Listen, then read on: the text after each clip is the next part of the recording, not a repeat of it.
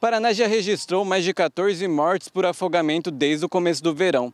Foram também registrados mais de 282 resgates, que é quando o banhista precisa da ajuda do salva-vidas. Alguns cuidados podem ser tomados para evitar esses acidentes. O tenente Ferelli, do Corpo de Bombeiros de Maringá, faz o alerta. A orientação que nós fazemos como instituição, né?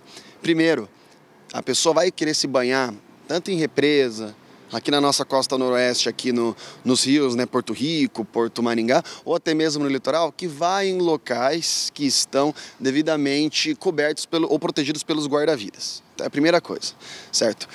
Segunda, segunda prevenção, né? atividade de banho não combina com álcool e o álcool não combina com atividade de banho.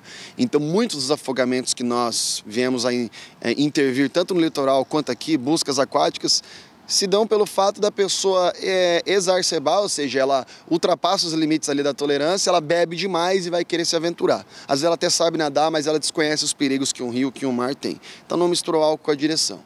E é fundamental também é, orientar a população, porque hoje é muito comum as pessoas terem embarcações, ter o próprio jet ski, ter a própria lancha. Então ela tem que ser credenciada. Ela não pode também utilizar o álcool, obviamente, porque é como se fosse um carro, né? Dentro da água, ela tem que ser devidamente habilitada. Utilizar sempre o colete salva-vidas, por quê?